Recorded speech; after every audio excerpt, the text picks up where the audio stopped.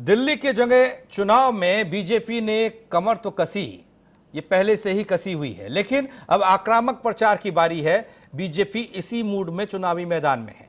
दिल्ली में 21 सालों के भूखे को, सीटों के इस भूखे को खत्म करना चाहती है। वहीं यही वजह है कि अब दिल्ली के दंगल में भी योगी आगमन होने वाला है। इतना ही नहीं, विदेशों से भगवा ब्रिगेड ने भी व्यू रचना में कोई कसर नहीं छोड़ी है। एक रिपोर्ट के ज़रिए समझ लीजिए। के दंगल में गरजेंगे योगी। योगी के यलगार से होगा बेड़ा पार। विदेशों से आई भगवा ब्रिगेड भी होगी मददगार।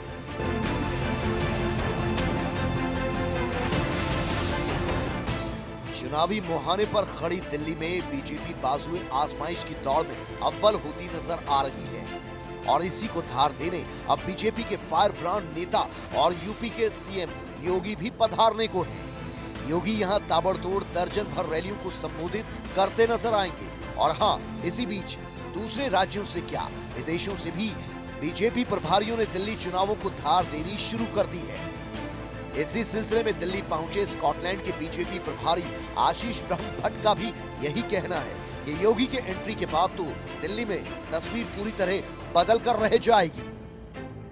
योगी जी बहुत ही लोकप्रिय लोकप्रिय जो है वो मुख्यमंत्री है, उत्तर प्रदेश से आते हैं। यहाँ जो दिल्ली में जो दिल्ली में जितने भी आप प्रजागण रहते हैं, उसमें ज़्यादा यूपी, बिहार हरियाणा और पंजाब से लोग ज़्यादातर रहते हैं। तो मेरे हिसाब से हिंदी भाषी लोग बहुत ज़्यादा यहाँ रहते हैं। और दूसरा, योगी जी जो है, अपने आप में भी एक कमाल है। बहुत अच्छे आदमी है। बहुत आ, आ, आ, मतलब कार्यनिष्ठ है बहुत अच्छा काम करते हैं और एक सक्सेस मुख्यमंत्री है। पूरी प्रजा उनके पीछे है पूरी प्रजा उनकी बात सुनती है। चुनावी प्रचार चरम पर है। जिस दिल्ली में अच्छे रहे पाँच साल लगे रहो केजरीवाल के बैनरों से पटी आप सरकार है तो वही उसी दिल्ली में सत्ता में दोबारा दमदार तरीके से लौटी बीजेपी की केंद्र सरकार भी है। मामला वाकई दिलचस्प है। लेकिन वनवास के 21 साल झेल चुकी बीजेपी इस बार नो स्टोन अनटर्न की अंग्रेज़ी कहावत मानो सच करने पर पूरी तरह उतारू हो। यहाँ ये केजरीवाल जी जो है अपने बच्चों की कसम खा के कहते थे कि मैं मेरे बच्चे की कसम खा के कहता हूँ कि मैं कभी बंगला नहीं लूँगा मैं सरकारी गाड़ी नहीं लूँगा और अपने बच्चों की कसम झूठी खा के आज बंग, दो दो बंगले लेके बैठे हैं गाड़ियों में चलते हैं और इसकी जगह आज आप देखिए कि ये इन्होंने साढ़े चार साल तक आराम किया है, कुछ काम दिल्ली में किया नहीं और अब झूठ बोलने के लिए वापस आ गए दिल्ली की जनता बड़ी होशियार है, उनको सब मालूम है क्या करना है तो उसका जवाब चुनाव के दिन बटन दबा के ये दिल्ली की जनता दे देगी, इसके लिए हमें कोई मुद्दे की ज़रूरत नहीं है।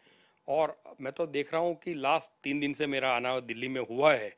तीन दिन से जब से मैं आया हूँ, ये मैंने अमित शाह जी की रैलियाँ देखी और सब कुछ मैं देख रहा हूँ तीन दिन से पूरा चित्र बदल चुका है। पूरी चित्र जो है उसमें पूरी जोम आ गई है। भारतीय जनता पार्टी के सारे कार्यकर्ता जो है पूरे विजय नाद में लगे हुए हैं और मुझे यहाँ की ज्वलंत विजय अब दिख रही है। इसके अलावा दिल्ली मुख्यमंत्री के चेहरे पर उठते सवालों पर बीजेपी अब हिचक खत्म करती हुई खुलकर सामने आने लगी है। भारतीय जनता पार्टी जो है वो कोई चेहरे की मोहताज नहीं है। देखिए एक दिन महाराष्ट्र में हमने देवेंद्र फडणवीस दिए हैं। आज विजय रूपाणी हमने गुजरात में दिए हैं। आज हमारी हर जगह पर हमने जब जब हमारी सरकार बनी है, हमने अच्छे अच्छे ऐसे अच्छे चेहरे कैबिनेट में और मुख्यमंत्री के चेहरे दिए हैं। हमारी एक विचार सरणी है, एक विचार को लेकर हम चलते हैं। उस विचार के साथ जब भी हमारी सरकार बनेगी, हम एक सत्य निष्ठा वाली सरकार, एक अच्छे विचारों वाली सरकार इस दिल्ली को ज़रूर दे देंगे। पहले से ही मैदान में उतर चुके बीजेपी के चाणक्य अमित शाह और दर्जनों केंद्रीय मंत्रियों के साथ अब योगी की एंट्री और ऊपर से विदेशों में बसे बीजेपी की बागडोर संभाले भाजपाई दिल्ली के दंगल में चित कर डालने का मादा तो रखते हैं, लेकिन फ़िलहाल तो जंग अभी जारी है और नतीजे अभी आने बाकी हैं। Bureau report, R nine TV, Uttar Pradesh, Uttarakhand